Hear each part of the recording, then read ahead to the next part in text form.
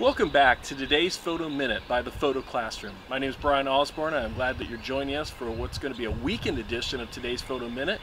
And uh, for the weekends, what we're going to do is something called shoot and share. It's going to be an opportunity for us to get out with our cameras, to have a couple challenges of things that we can go photograph and uh, concepts that we can play with.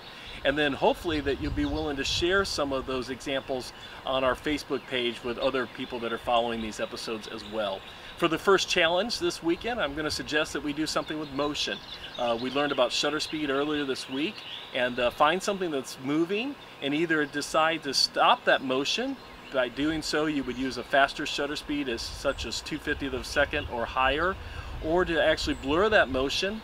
To blur that motion, you might need a tripod, and then you can use a shutter speed less than a 60th of a second. You can go even slower than that and see what the motion blur looks like in your images. Uh, for the second challenge, we're going to do something with different types of depth of field.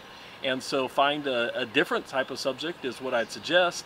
And then try uh, and see, determine that if you want more depth of field or less depth of field for that specific subject matter and what you would like to kind of create in that photograph itself.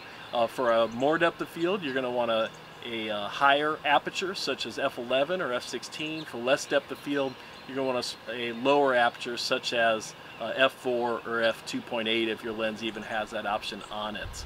Uh, better than that, when you capture these images, one of motion and one of uh, depth of field that you really like, uh, that you think represents a great example, then please share those on our Facebook page. It'd be great for everybody else to be able to see those as well. So that, that's going to be our weekend edition. It's going to be shoot and share. Please go out with your camera and get some pictures, practice these concepts, concepts that we've even been learning about this week, and then uh, be willing to share those with uh, everybody else that's following us.